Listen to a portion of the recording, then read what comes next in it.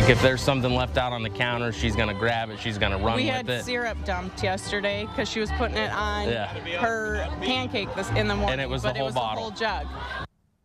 They're thankful for little moments like that as they spend as much time with their daughter as they can. Thanks for being here for your local news at 10. I'm Marley Capper. It's never easy to see a loved one battle a disease, but it's especially tough when it's a kid. Today in Urbana, the community rallied together for one seven-year-old girl who's staying strong and pushing on. WCIA 3's Amanda Brennan was at a benefit today and tells us their story. This is Kinley Nash. She's energetic, has a big heart, and loves the people around her. It's hard to imagine this little girl is also battling a rare, uncurable disease at the same time. Kinley's a fun-loving seven-year-old, has a lot of energy. She's very happy. She loves hard. Ashley and Brandon Nash are fighting hard for their little girl. We always joke that, like, if you need a pick me up or you need a compliment, Kinley's the one to do it. But their whole world changed when she started kindergarten. Um, was probably academically when we first noticed um, that she wasn't up to her peers. After an ADHD, autism, and anxiety diagnosis, they knew the medicine wasn't working and they pushed for genetic testing.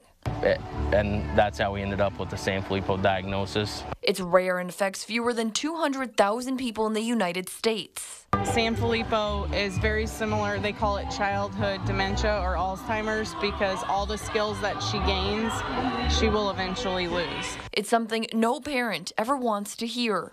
It basically attacks the brain, which uh, the brain affects everything in the body. But the Nash family isn't letting it hold them back. They're pushing forward. But I knew when we got this diagnosis that we were going to face it head on. And if it's not for Kinley's benefit, she's going to be the reason that we fight towards it. And spreading awareness is one step toward that, raising money for her and future research. And there's no there's no doctors locally that can treat Sanfilippo. So we travel to Cincinnati. So every trip that we go to Cincinnati, we're out the cost of travel expenses, lodging, meals.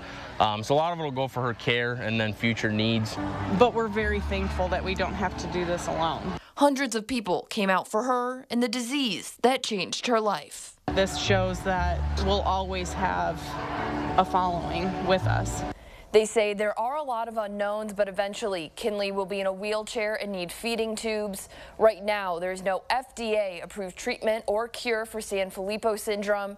If you want to help the family or learn more about it, we have a link with details on our website, WCIA.com. The Cure Sanfilippo Foundation says it's estimated the syndrome affects one in every 700,000 births and has a 100% mortality rate, with kids passing away in their early teens.